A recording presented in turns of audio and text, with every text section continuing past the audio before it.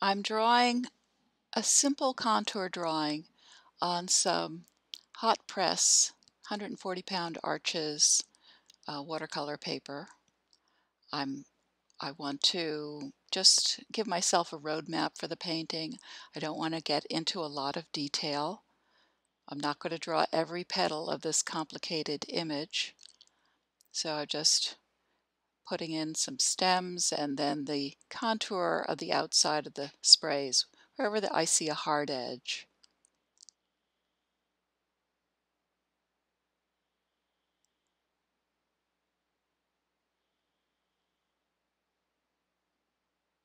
Try not to get too fussy.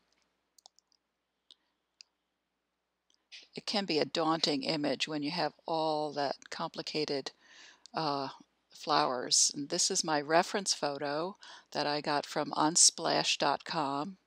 And the photographer is Elyssa Fahndrich. And she has given her permission to use this image. Uh, this is one I did uh, a few days before, and it's on Canson paper. And it puddles in some places and dries too fast in others, but uh, it works out fine having a lot of blooms. This is on cold press arches. And here, this is the rougher surface. It's the most forgiving of the watercolor papers because it, um, uh, it holds the moisture longer. So now I'm applying water to the just to the parts of the painting that are in the background. So I'm leaving the spray of blossoms that is closest to me, closest to the viewer, dry. And this is my way of creating a resist. Uh, rather than use a mask, um, I just paint around with the water. And then I can drop the color in, and as soon as the color drips down and hits the dry paper, it stops. So it's and then I can use the point of my, in this case it's a squirrel brush, a silver black velvet, and uh, I can use the tip to really carve out those hard edges and add a little detail. So this is, I love working this way. It's just, I'm bringing a little um, color into the negative areas in the spray flowers so it isn't too solid a mass. So I'm bring some background in there. And so this is going to give me a really soft pink background. So it's the blossoms that are out of focus.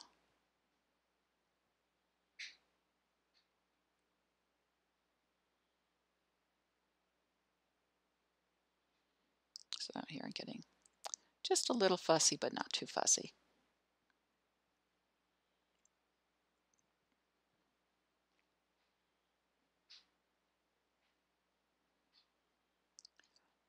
So in this hot, hot press paper, um, sometimes the paper will dry too fast in some places, and so I might give it a little spritz with my atomizer.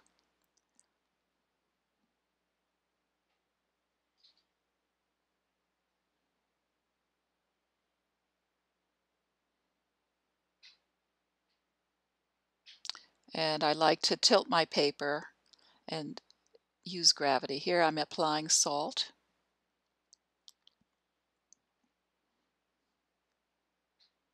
And now for the other side. So I, I have the color at the tip so I can really get in there and carve those edges and then I can press down with the brush to release water. And here I'm kind of drawing with my tissue to give a little soft shape to that background spray of blossoms.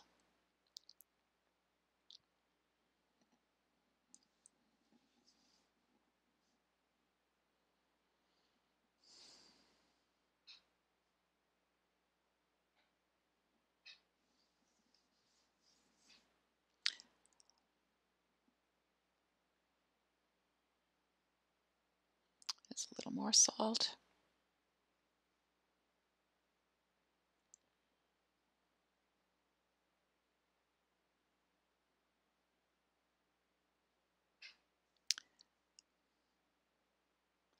So here's again I'm mixing uh, this is where I have I have dried the paper with a hair dryer and you can see the beautiful texture that the salt created. So I really don't have to do much at all in the background. I've mixed permanent rose with cobalt blue and um, for the shadow areas on the blossoms in the foreground. I want to preserve the whites. And the color I'm putting down now is going to lighten, so I'm going to keep going back with darker and richer color.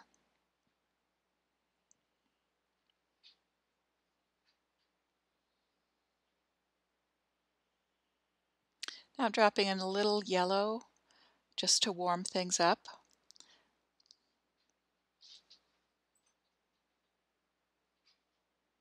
So the yellow and the pink make a nice orangey color. So when I paint shadows like that, I, I don't like to use one color for the shadow. I really look at my source and and see what colors I see. I like to go from warm to cool. So some places may have a more orangey shadow and some people, uh, some places uh, bluer.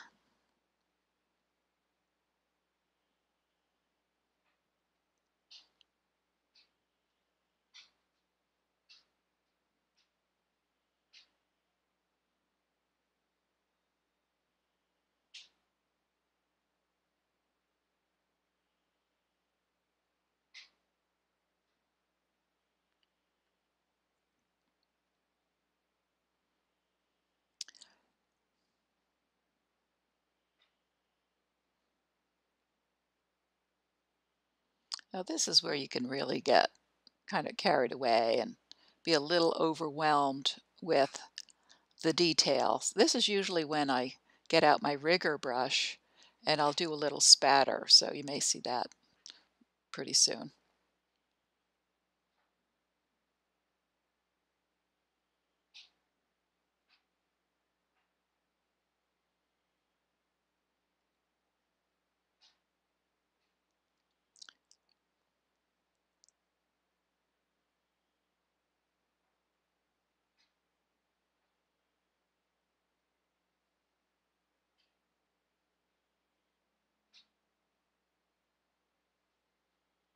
Here's where I'm adding some richer color. And when you work on a tilt, you it's just wonderful to watch the color drift, drift down if your paper's wet.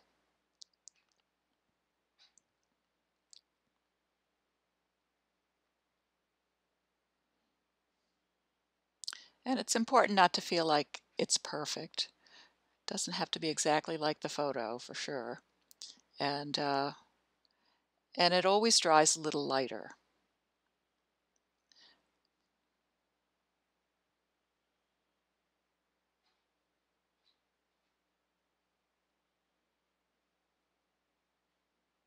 So this, uh, these brushes that I use, I can really get a broad stroke with them by pressing down, or I can get this very careful detail using just the tip.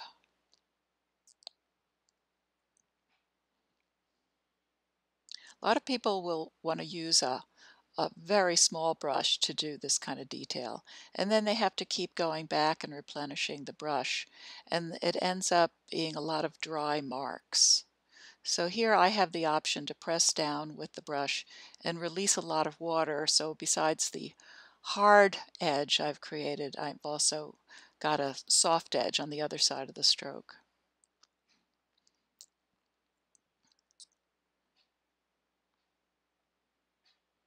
Okay, here comes the rigger brush. And this, this is, I, I always enjoy doing the spatter and it, it just uh, keeps things fresh, especially if I've started to get too tight. So now I'm, I'm going to do the branches now so I'm going to hold the, I'm checking on my neutral color. I created a neutral color by combining my three primaries. And uh, so I'm going to hold the brush up near the tip. And that way I can't get too smooth a line. I'm holding it straight up and down. And I want to try to get an erratic brush stroke. And uh, because cherry blossom, uh, cherry branches rather, are kind of uh, wiggly and gnarly. And uh, so I like to, after I have a neutral uh, branch, then I drop some pure pigment in. Uh, I've introduced sap green, so I'm going to drop a little of that in spots into the still wet branches. And uh, so that makes the twig uh, much more colorful and more interesting than if I just mixed one color or if I just reached for a brown and painted with that.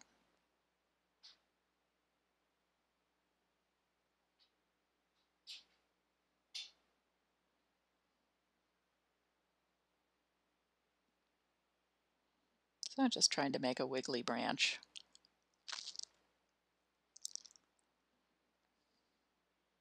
And the, the branches play peekaboo with the blossoms. So they give, uh, add more depth to the blossoms in the foreground.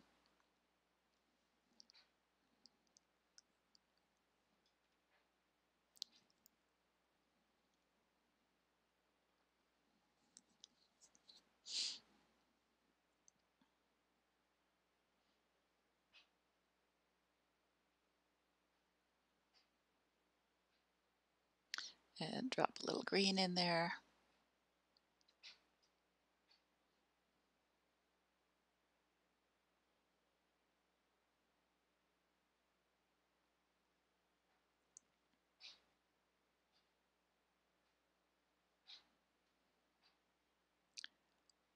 I don't want them to be too crisp. So I'll I'm going to just kind of do a wet wash over them and just kind of blur them a little bit.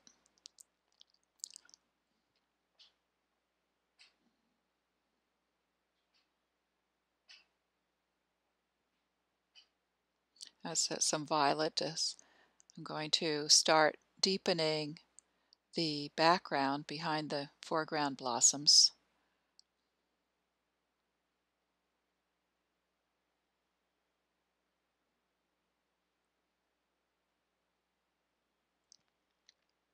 And here's a warmer color. I'm doing the centers of the blossoms that are facing me.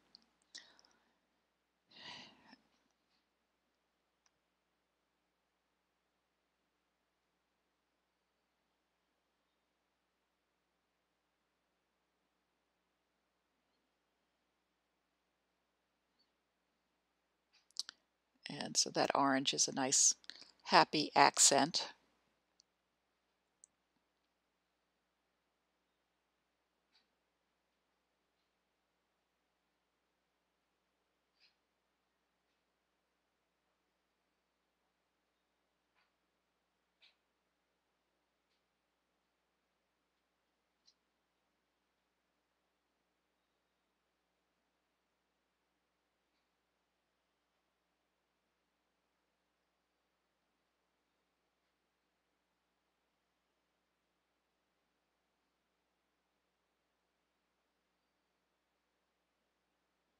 Now I've introduced some cerulean blue just to switch things up a little and the cerulean mixes nicely with the permanent rose.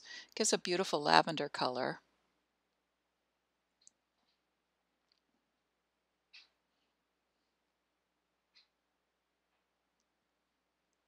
And uh, it's a nice shadow color in itself. It's beautiful combined with the permanent rose. The cobalt's a very neutral blue, mid-value and it's a really safe color to use and it's a good mixer. It gets along with everybody. But the cerulean has some, uh, it's a light value blue. It's uh, almost opaque. So you have to be careful where you use it.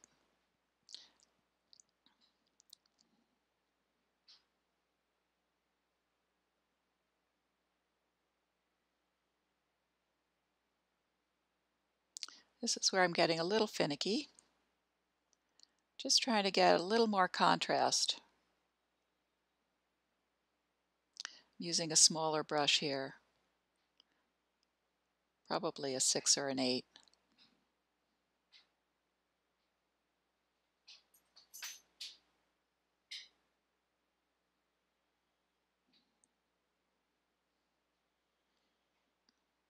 Yeah, I'm definitely getting too fussy here.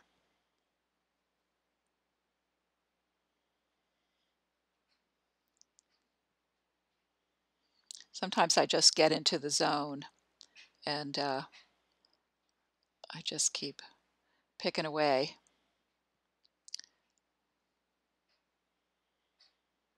That's when it's good to stop and stand back and see what see the big picture.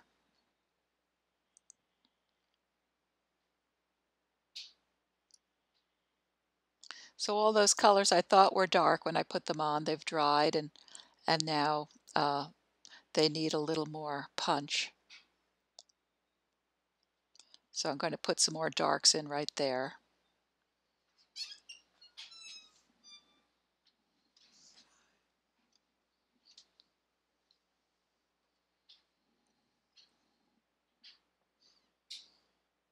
So here I'm going in with uh, a dark dark. Well, maybe not, not as dark as the uh, branches, but pretty dark. I really want to set off that, that bloom.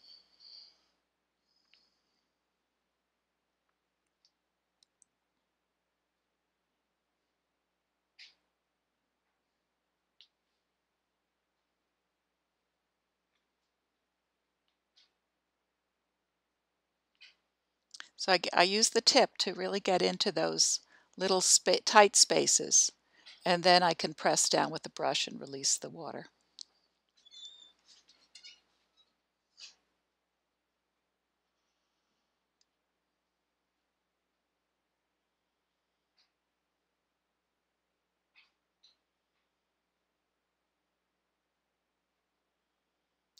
And dropped a little little green suggesting some more stems and maybe just the beginning of some leaves.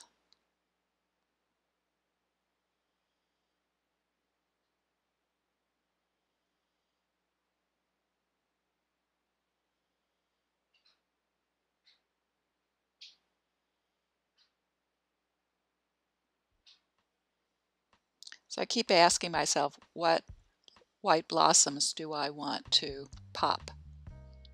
And then I put something dark next to it with a hard edge.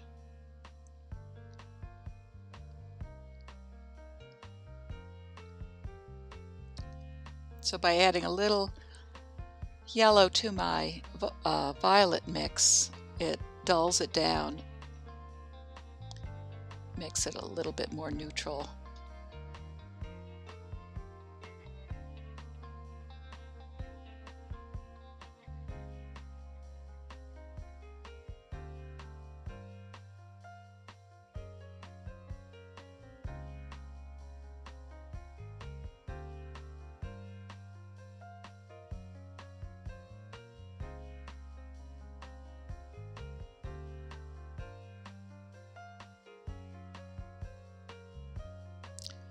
And so this is where I wrap things up. I put it, I stop painting and I look at it for a few days and see if the fairies have worked on it. Then I know I'm done. Always stop before you think you're finished.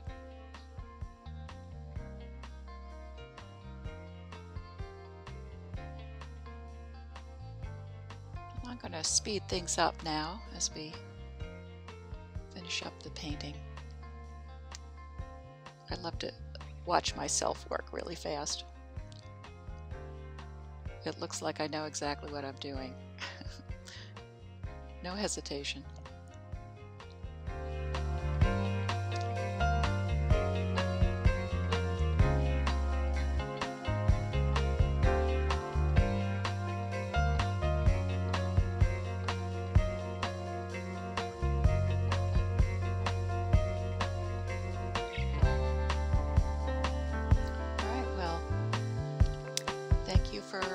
Watching me paint and uh, happy spring.